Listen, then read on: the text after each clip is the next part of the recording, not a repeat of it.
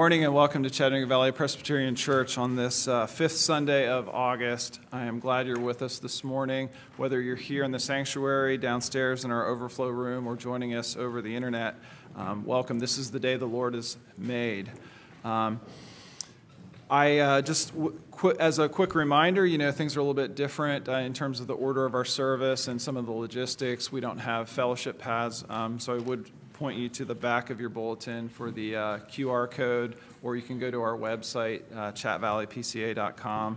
You can fill out a Connect card, let us know that you visited with us, or that you'd like to talk to an elder or deacon, or you have uh, any prayer requests. Um, there's also links there for um, uh, online giving as well. Um, as we uh, prepare for worship this morning, I will read the meditation found on the first page of your bulletin from 2 Corinthians. Let's hear the word of the Lord. Therefore, having this ministry by the mercy of God, we do not lose heart, but we have renounced disgraceful, underhanded ways. We refuse to practice cunning or to tamper with God's word, but by the open statement of the truth, we would commend ourselves to everyone's conscience in the sight of God. And even if our gospel is veiled, it is veiled to those who are perishing in their case, the God of this world has blinded the minds of the unbelievers to keep them from seeing the light of the gospel of the glory of Christ, who is the image of God. For what we proclaim is not ourselves, but Jesus Christ as Lord, with ourselves as your servants for Jesus' sake. For God, who said, Let light shine out of darkness, has shone in our hearts to give the light of the knowledge of the glory of God in the face of Jesus Christ. Let us meditate on the word of the Lord as he prepares our hearts for worship this morning.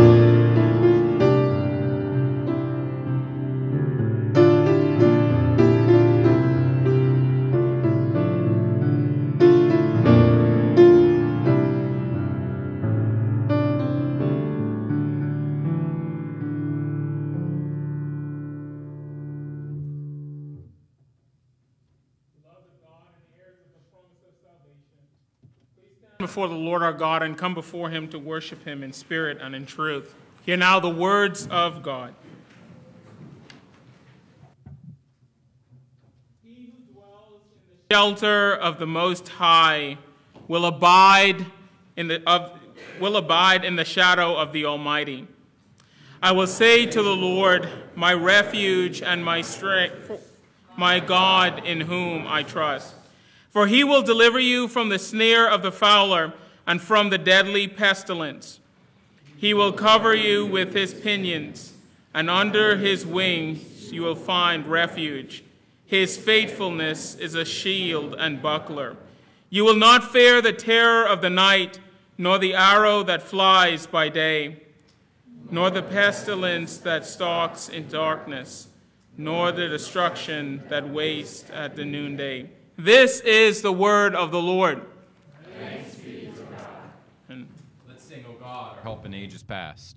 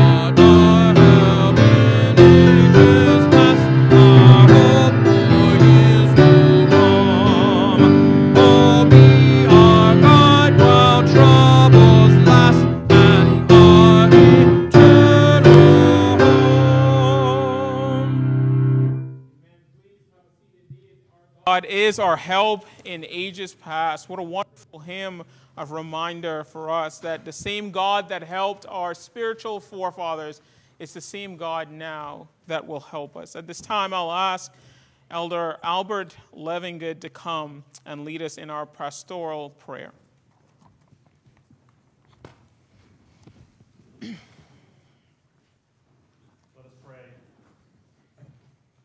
Father, Lord of heaven and earth, you have been our dwelling place in all generations.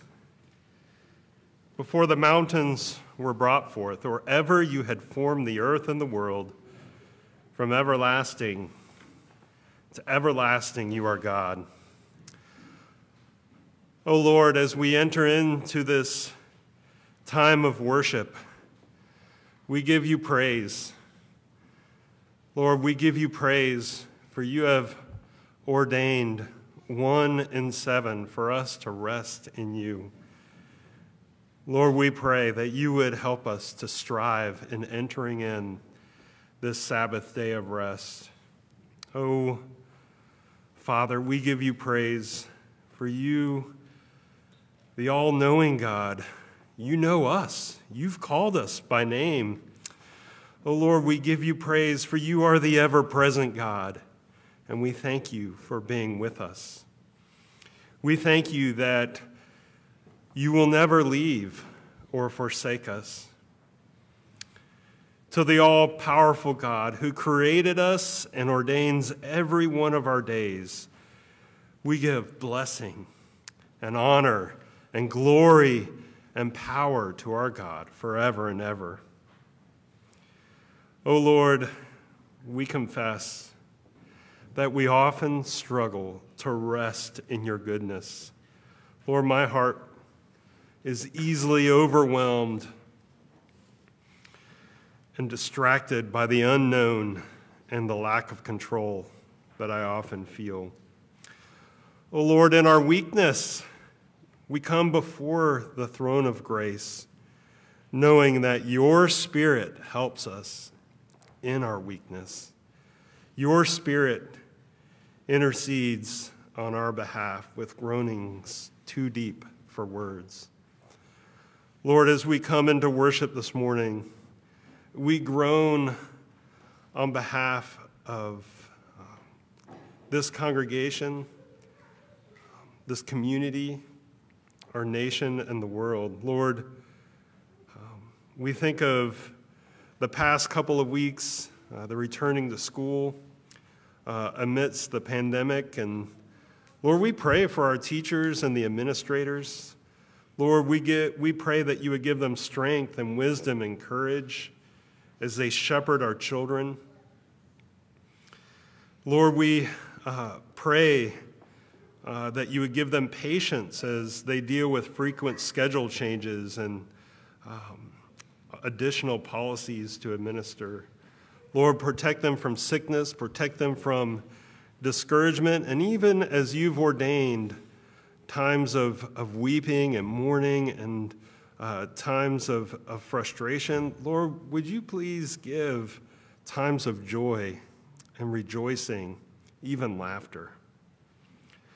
Lord, we pray for the parents. We pray for parents who are navigating um, in school uh, sessions as well as um, online sessions and uh, just all the different dynamics and rules that uh, we need to follow. Lord, protect uh, our parents from fear, uh, from anxiety as our children go back to school. Lord, um, give us parents patience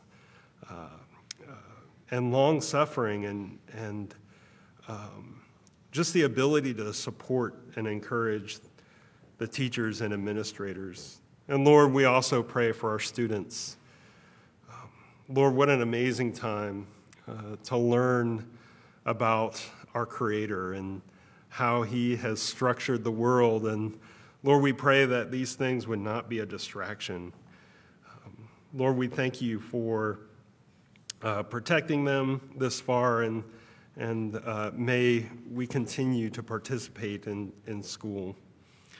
And Lord, we think of the healthcare workers on the front line, um, delivering care every day. Uh, protect them, uh, give them strength. Uh, Lord, many are working long hours, and um, Lord, we pray that you would uh, lift them up and encourage them. Lord, we also uh, mourn with those who mourn.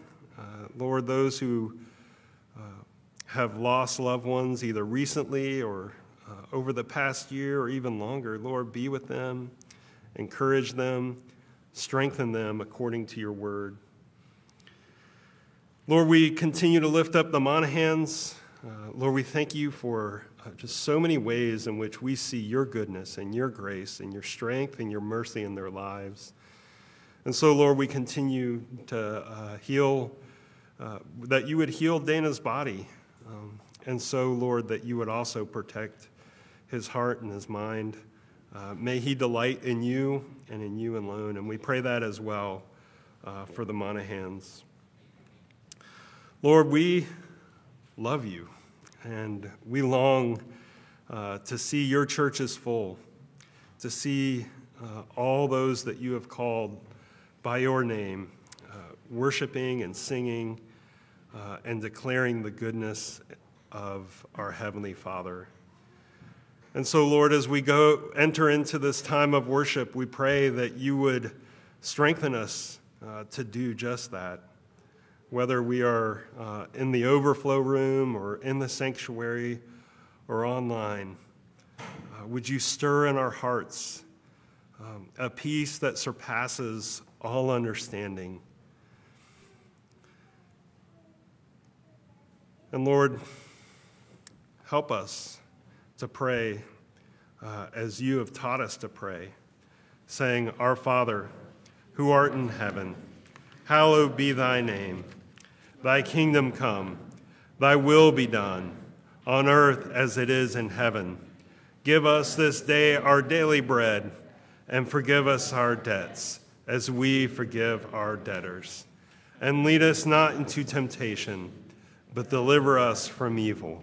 For thine is the kingdom and the power and the glory forever. Amen.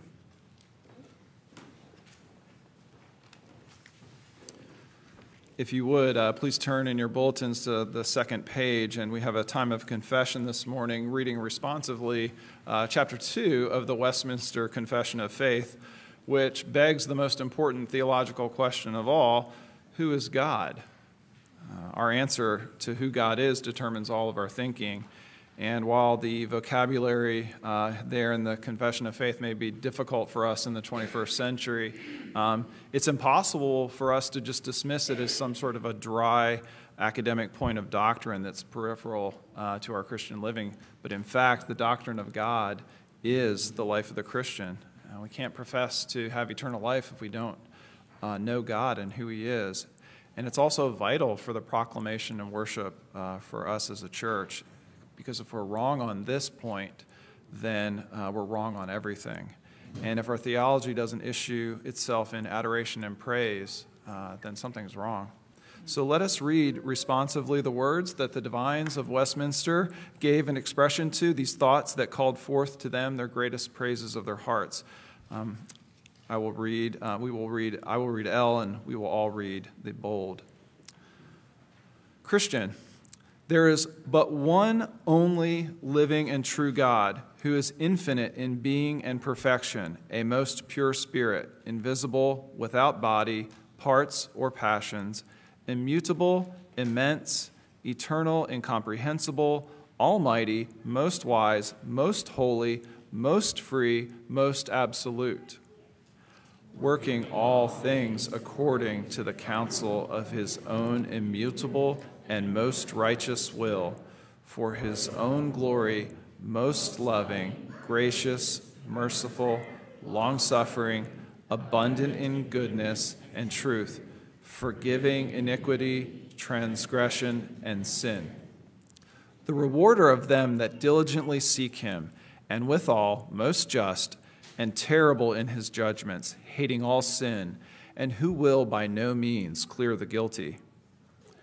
God hath all life, glory, goodness, blessedness in and of himself, and is alone in and unto himself all sufficient, not standing in need of any creatures which he hath made, not deriving any glory from them, but only manifesting his own glory in, by, unto, and upon them. He is the alone fountain of all being, of whom, through whom, and to whom are all things, and hath most sovereign dominion over them, to do by them, for them, or upon them, whatsoever himself self pleaseth. In his sight all things are open and manifest. His knowledge is infinite, infallible, and independent upon the creature so as nothing is to him contingent or uncertain.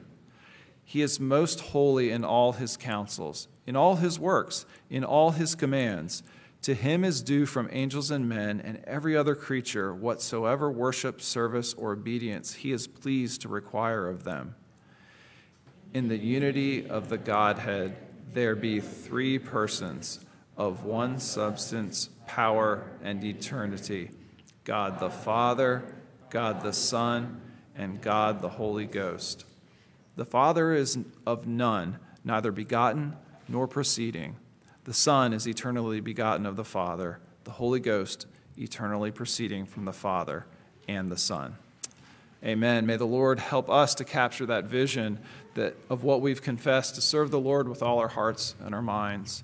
And so now please stand and join our voices by singing my prayer as we prepare for the preaching and teaching of God's Word.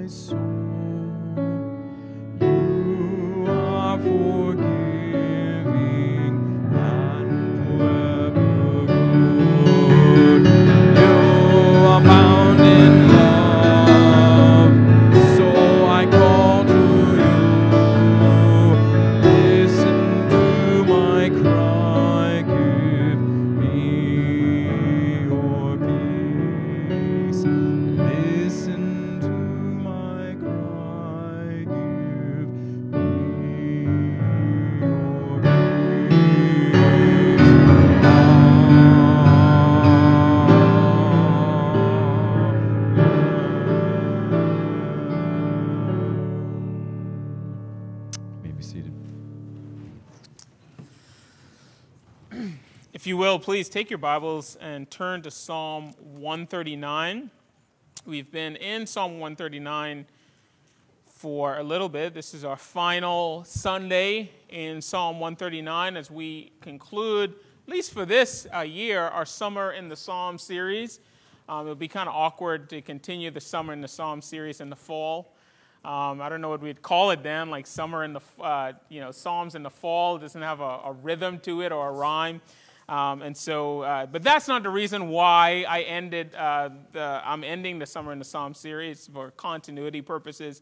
But I wanted to take up uh, a series, and I'll start this next week the work of the Holy Spirit in the life of Jesus.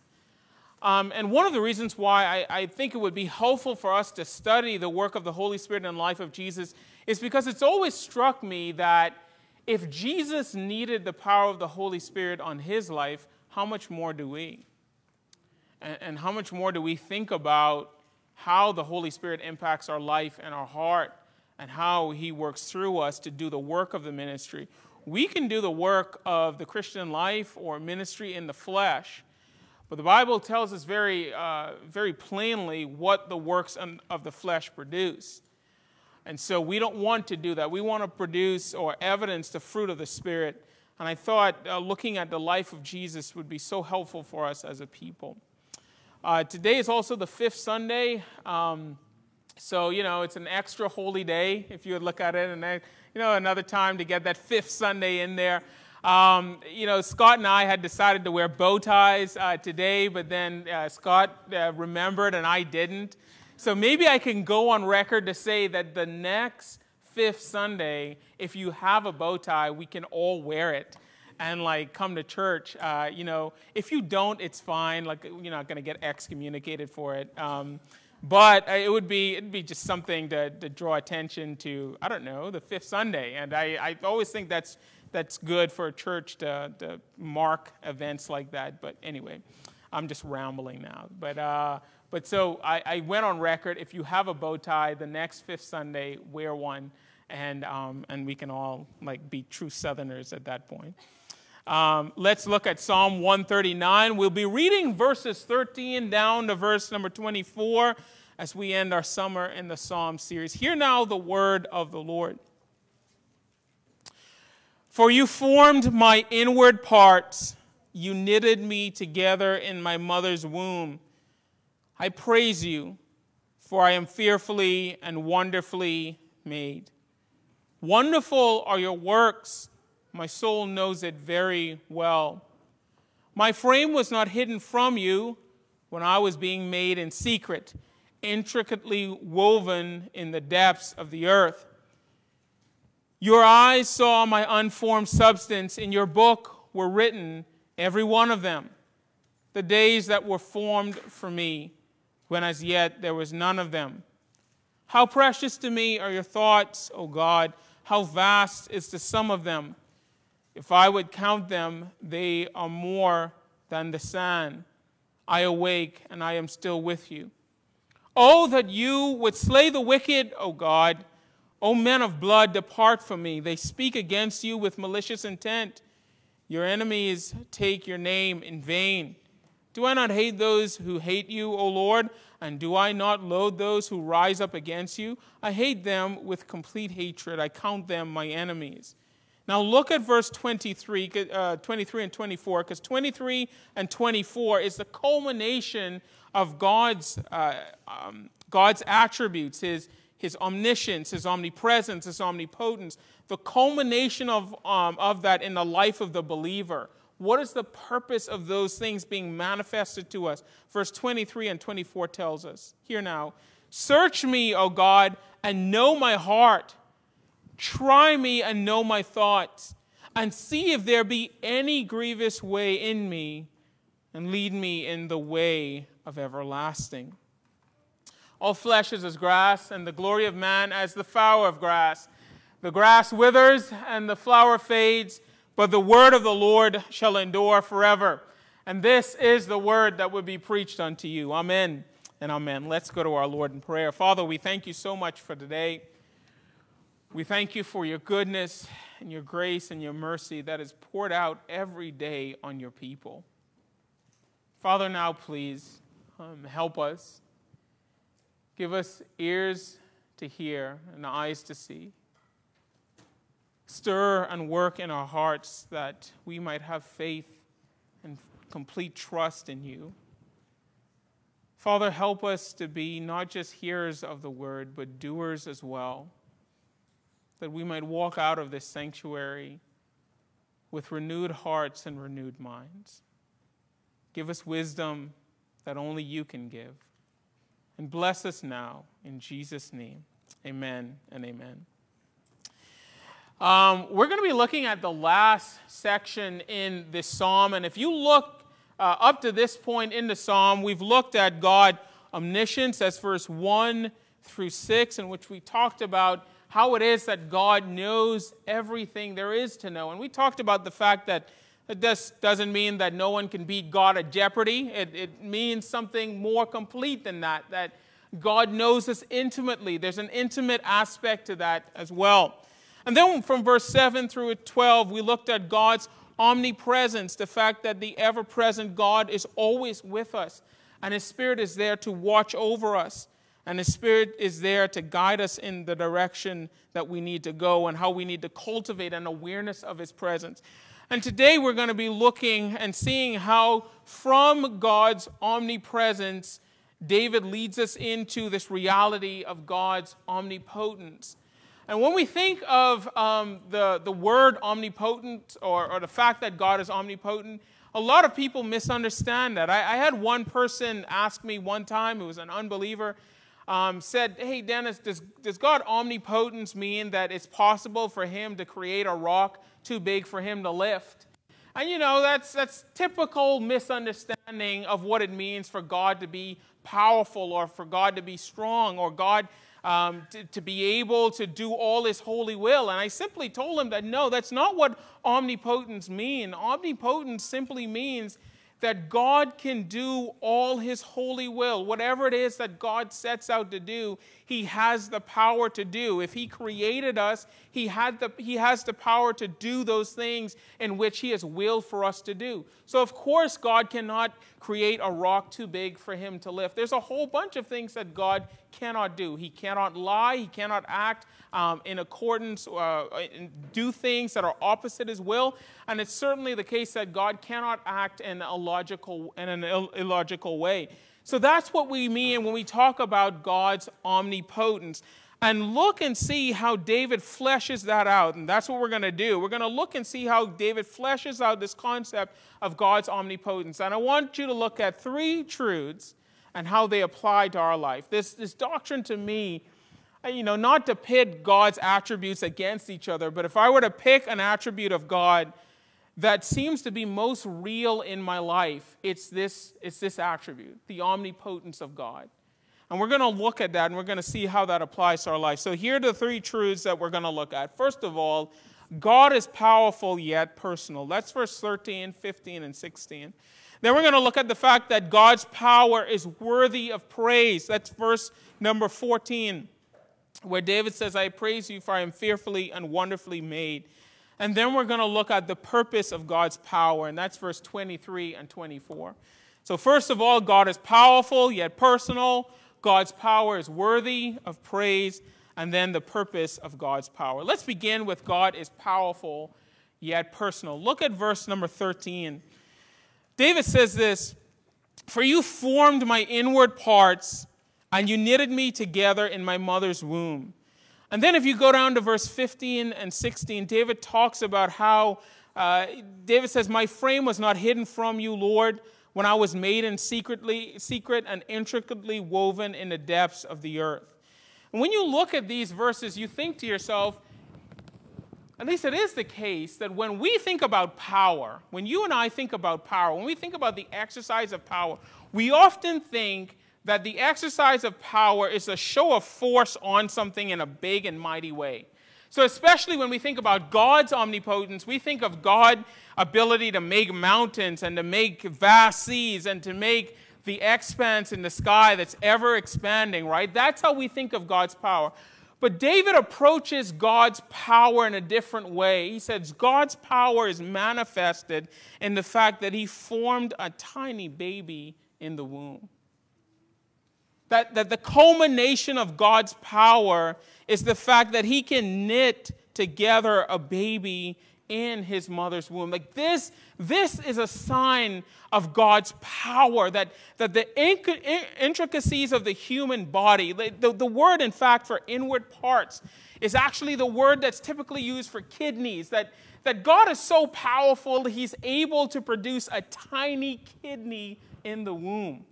Think about that tiny lungs, tiny hearts, that, that every aspect of the human body, if you were to look at it and tear it apart, you'll see how intricate it is. David is saying this is a sign of God's power. But at the same time, David is saying this is the sign of how God is so personal with us. Think about that for a moment. Think about the way and consider for a moment the way in which God's power is revealed in the formation of a child, but how it also indicates the personal relationship God desires to have with us. Think about the creation of Adam above all of God's creation. The Bible says that God formed Adam out of the, out of the dust, out of the clay of the ground. And after he formed Adam, he breathed into his nostrils the breath of life. And man became this, this living soul and embodied being. And, and why did God do that? To, to create a relationship with Adam. And then when it came to creating woman, the Bible says that he put Adam to sleep and then he, he slit his wrist. I, I don't know how God did it anyway. I, I, was like, man, how did he do it? Did he have like a holy scalpel that he used? Like, how did, you know, how did he manage it? I, I don't know, but, but the Bible says it. I, I believe it. It's true. And, and so he takes a rib out of Adam and, and then he brings um, Eve to Adam, and Adam is like, Whoa, this is the most beautiful woman I've ever seen. And, and keep in mind, it's the only woman he's ever seen, but that's, you know, that's besides the point. That was good for her to hear, right? And, and the formation of Eve that, that that's a sign of God's power, but notice how he puts them into covenant with each other to indicate the personal relationship they were supposed to have. And then think about every successive human being that was born into the world, that how they were, they were meant to be born in the covenant relationship of marriage, in which man and woman, they, they have this child, and God created this, this womb inside the woman.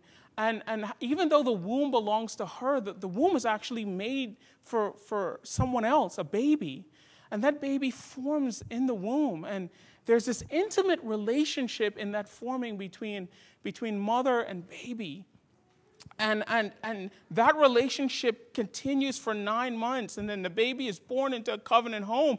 And, and, and then there's this series of time where the baby is completely helpless. You know, the scientist says it's like from first from, from one year old to, to, I think up to four. Some of you might think it's 18, but that's, you know, that's beside the point. But, but, but there, it's the case that there are all these covenant relationships that are formed through birthing. And I think that David uses this example to indicate that God is so powerful, yet he's so personal. Because he wants us to know that God's power is not in conflict with his, with his personal desire for us to be in union and communion with him. And then notice how David takes it up a notch, right? He takes it up a notch. Notice with me in verse number 15 and 16, David says, Not only does God personally form us, and this is a sign of his power and a sign of his personal connection with us, but David says, even, even when his frame was hidden, it was not hidden from God that he was intricately woven in the depths of the earth. And then in verse number 16, he says, Your eyes saw my unformed substance. In other words, he said, God, you knew me even before I was a baby.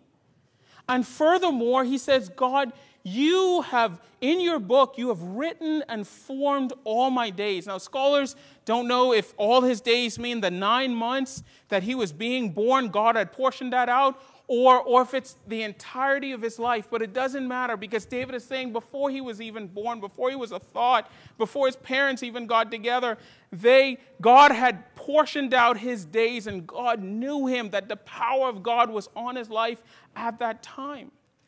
And that's such a remarkable, beautiful, wonderful example of the power of God and how God is personal. And let me say this too. The, these verses are also the reason why, for a Christian, we value life in the womb. This is why, as a Christian, we also value life outside of the womb as well. Hey, listen, I, am not, I'm not interested in making a political statement here. Uh, you know, I think, I think we always get distracted by the politics of our time. I, I, can I just make a gospel statement? Is that okay? I see some heads. I'll go ahead. God not only cares about life in the womb, and that's precious to Him, but God also cares about life outside of the womb, and it's precious to Him. And we live in a culture of death in which we're so we're so disinterested when we see people dying. And, we're so fractured in the way we approach it. There's some of us we care inordinately, inordinately about life in the womb and we'll we'll beat that drum. And then there's some of us, we care inordinately about life outside of the womb, and we beat that drum. But notice how David, David is beating both drums at the same time. And it's making some beautiful music. And what David is saying is, God, you care for me in the womb, but you also care for me outside of the womb. And, Christian, you should be grieved at the fact that millions and millions of children die in the womb every year through abortion. But we should also be terribly grieved at the fact that many, many young men and young women are senselessly killed in our society. And we should passionately pursue to protect both because that's the gospel imperative. That we have a God that's not just interested in making people but that same God is interested in entering into a personal relationship with others as well. And God is eminently pro life. And we should be too, but it's all of life. And it's in the way that we pursue all of life. These verses are calling us to something powerfully radical. And that is that we as the church should passionately pursue a culture that promotes life in all of its forms because that's what the scripture calls us to. That's what the scripture demands of us that we enter into this relationship. Notice with me also not only that God is powerful yet personal, but notice that God's power is worthy to be praised. Look at verse number 14. David says, God, I praise you, for I am fearfully and wonderfully made. Wonderful are your works, and my soul knows it very well. Now, what is David doing here? Well, well, David, this isn't new to David. David is often praising God for his creation. If you go to Psalm 8, David says the same thing Lord, I praise you because your glory is revealed. In Psalm 19, David says, The heavens declare the glory of God and the firmament is handiwork. But what David is doing there in Psalm 8 and Psalm 19 is radically different from what David is doing in verse number 14. In Psalm 8 and in Psalm 19, David is praising God because his glory is seen in creation. He's not saying that this is something vastly unique. This is just the handiwork of God. But in verse number 14, the word where he says made or wonderfully made is actually the word meaning set apart.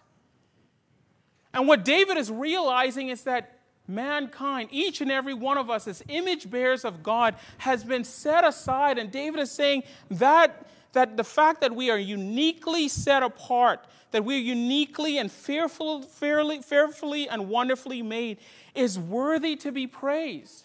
That each one of you is a unique worshiper of God, designed perfectly and beautifully for God's holy ends. Now, let me say this there are many of us that don't fully believe that. And I've met people in my life that don't fully embrace that. You know, I, I worked at a, as a coffee shop. I was a barista. Any baristas in here? Uh, It's, you know, there's a cult of baristas. You know, we know, uh, you know, if you've worked in a coffee shop, you always get together and talk shop a little bit. And so I, there was a, a young lady that I knew while I was there, and she would, she would come by and she would get the same thing every day. She would get a sugar-free, non-fat, uh, hot mocha, right? 24 ounce skim milk with four shots of espresso every day. Now, I might not remember, and I don't, but I remember a drink. And every day. And, and what, what's so cool about that is once you've memorized the drink, you know, if you saw that car coming, you'd start making it. And then as they come, you just hand it right out the window. It's so cool. You know, you get more tips that way. You know, forget, forget caring for the customer. You're just like, I want the tips. And so, and so every day she would come by. And I noticed every day that she came by, she got skinnier and skinnier. And you know, that's fine. If you wanted to lose some weight, that's fine. But, but, but then it kept happening. And over the course of months, it got to a point where she became emaciated. I mean, her cheeks were just sucked in, and, and I, you know, I'm not trying to be unkind or false equivalency here, but, but she honestly, she looked like one of the, one of the pictures you saw of a Jew in, in, in a, an Auschwitz or, or, or a Nazi prison camp, right? She just looks, she began to look so frail. And, you know, we had a ministry there. We would, we would talk to our customers and different things like that. But, I, but I, I didn't feel comfortable talking to her. So I, I asked um, the, the young lady that worked with me, I said, hey, do you know what's going on with her? Does she have like cancer? Or she said, and she's like, no, Dennis, um, she's, she's starving herself because she wants to look like a supermodel. And, and the only sustenance she had in a given day was a sugar free, non fat mocha latte, 24 ounce skim milk with four shots of espresso. And in that moment, I thought, man, she would have benefited so, so much from somebody going up there and telling her, you don't have to do this because you are fearfully and wonderfully made.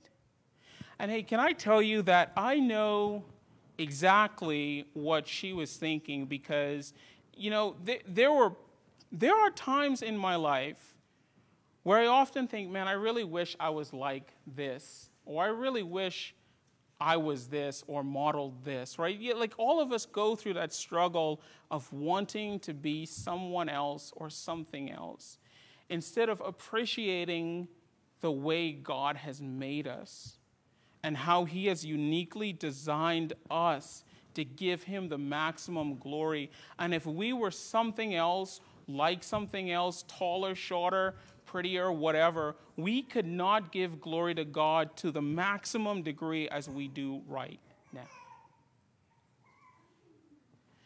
And this young lady was hospitalized time and time again and went through therapy and was to the brink of losing her life all because she didn't embrace this glorious truth that each and every one of us are fearfully and wonderfully made by God. And we don't have to strive to look like anyone else or be like anybody else. And what David is praising God for is he realized that he was uniquely set apart by God to be in fellowship and communion with God. And think about this for a moment. Think about how so often we read the Bible and we're disconnected from the God of the Bible, right? And he, let me explain it this way. I, most of you have heard me quote C.S. Lewis. I, I am a big fan of C.S. Lewis. I read all of his works. It's not just because me and him share a last name. Um, he spells it a little differently. It's L-E-W-I-S for him and, and um, L-O-U-I-S for me. And, and I, I'm such a big C.S. Lewis fan that, that I actually tried to name Caden, my son, after C.S. Lewis, right? His, his initials are actually C.S. Lewis, Caden Seth Louis. And, and I wanted to name him Clive Staples Lewis. And my wife was like, no, I don't like Clive and I don't like Staples. It's not happening. Um, but, but I'm a huge fan of C.S. Lewis. And so when I read C.S. Lewis's works, his works are so powerful to me because they help shape my understanding of the gospel and they help me to understand God in this unique way. But, but the thing that frustrates me about reading C.S. Lewis is I, I could never be in relationship with him. There, there's not, it's not the case that I can ever shake C.S. Lewis's hand and I could ever meet him and say, hey, thank you for allowing the Holy Spirit to work through you to, to impact my life and my thinking. It's not the case that I can give him a hug or commune with him or spend time with him. And so, so often when I read his writings, they're slightly disappointing because I, I can experience the power of his words, but I can't experience the power of his presence here with me.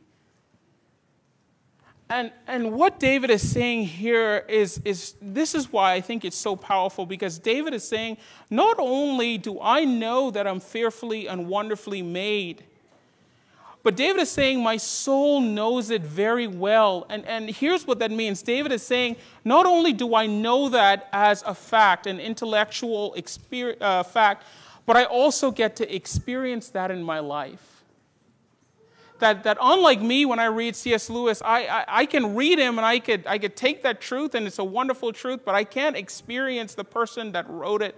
But David is saying I can actually be in relationship with the person who created me and told me that I am fearfully, wonderfully made. And, and, and then we ask the question well, why, why is it that we were fearfully and wonderfully made? Well, you and I are fearfully and wonderfully made to give God praise. In fact, isn't that what David is doing right here? He's saying, God, I am praising you. I, I, am praising you because I am fearfully, wonderfully made. This is what you and I were created to do. Praise God. And by the way, only you can praise God as you. Hey, listen, I, I love the way so many of you praise God in this church. I, I mean, I love our elders praise God in a, in a profound way. Our deacons, there's so many of you that love God. But, but as, as wonderful as I see some of you worshiping, I can't praise God in the same way that you're praising God, and that gives God maximum glory. No, no, no. I have to praise God as me, with all my imperfections with all my fears and frustrations, I, I have to praise God as me because as I praise God and as I give God glory as a unique worshiper, then I am truly giving God the maximum glory for who I am. And so please don't, don't spend your time trying to be someone else or trying to fit an ideal. And here's what I have to say too. How often in a church do we put that pressure on each other? To conform to an ideal, to be like someone else. Parents, how often do we do that to our children where we force them to fit an ideal and we don't parent them and love them for how they are? Listen, one of the most destructive things in the church is for us to expect the other person to be this preconceived notion of what we think they should be. Instead of encouraging them to embrace God as they are. Now, I'm not talking in our sinfulness. So don't hear what I'm not saying, as a close friend of mine would often say. No, I'm not talking about embrace your sinfulness.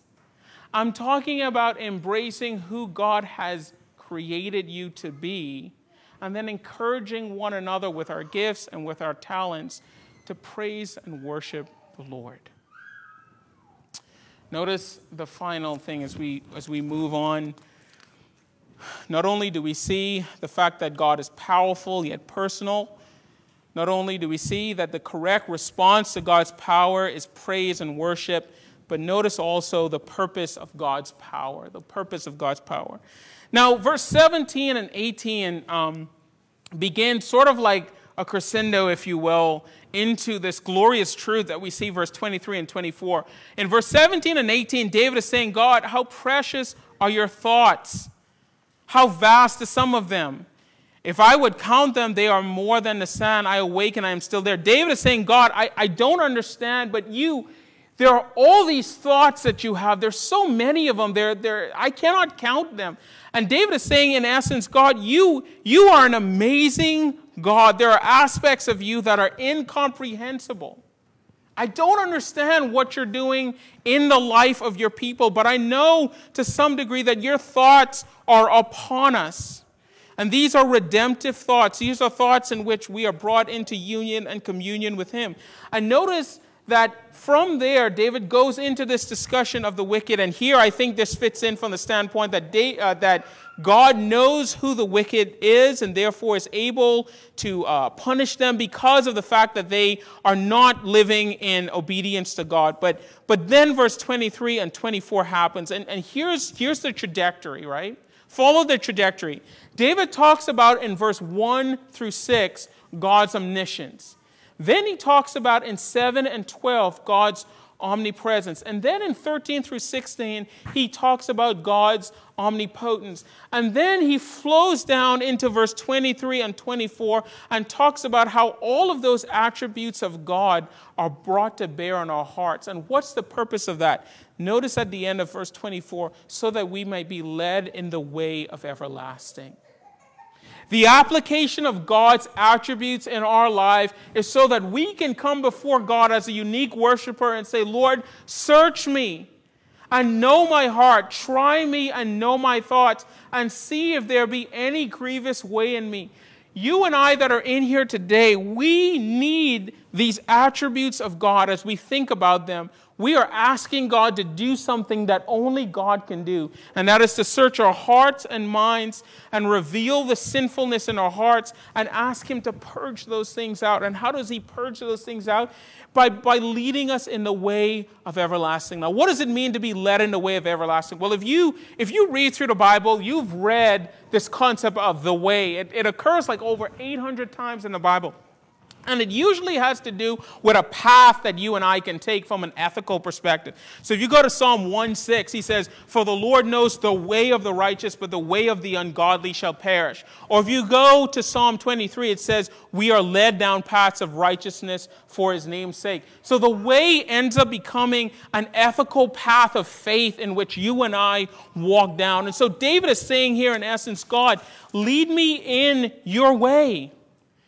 Only you have the power to transform my heart, mind, and soul, to lead me in the way of everlasting. And what does the way of everlasting look like? I love what one commentator says. He says this The psalmist is leading us to here's the way of everlasting life.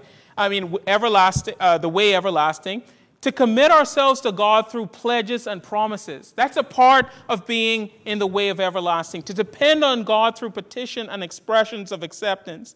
To seek comfort in God through lament and complaint. To find mercy from God through confession and repentance. To gain new wisdom and perspective from God through meditation, remembrance, and reflection. That is the way of everlasting to be led down a path in which we are pursuing God and living up to the things that God would have us to do. This is why when Jesus came, Jesus said, What? I am the way, the truth, and the life. No man cometh unto the Father but through me the way being mentioned here, why, why now in the New Testament Jesus becomes our way, because now it's through, by grace, through faith, as we participate in union and communion with Christ. That it's through that process of daily fellowship with Christ that we are led in the way of everlasting, that we are led in the way of blessing. That's the power of Christ manifested in you and I. And what happens as a result of that? Well, we are able to endure trials. We're able to overcome sin. We are able to express joy in the midst, in the midst of depression. And we persevere amid discouragement. And we exercise faith in the midst of hopelessness. And we exhibit strength in the midst of weakness. This is what happens when we are led in the way of Christ. This is what happens when you and I rely on the power of God. Let's pray. Father, we thank you so much. You are so good to us. We thank you that through your attributes we see your power, your knowledge, and your presence. We learn about these things and how they apply to us in the here and now. Lord, thank you that as the God who knows all things, you know us And as the God who has the power to be everywhere, you are here with us. And as the God who has power, all power, almighty, that you give that power to us to live in freedom and hope in the gospel. Bless us now in Jesus' name. Amen. Let's close worship today by singing Faith of Our Fathers. Please stand.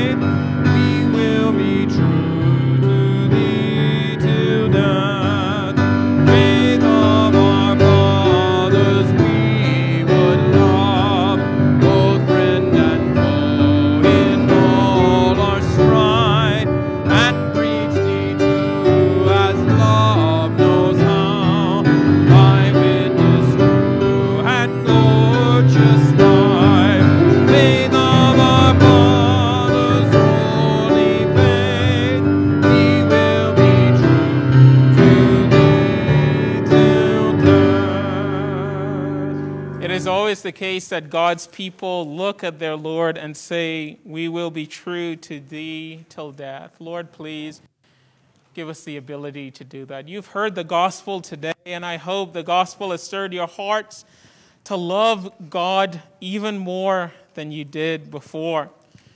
And that you're challenged to live out the implications of your life as a believer.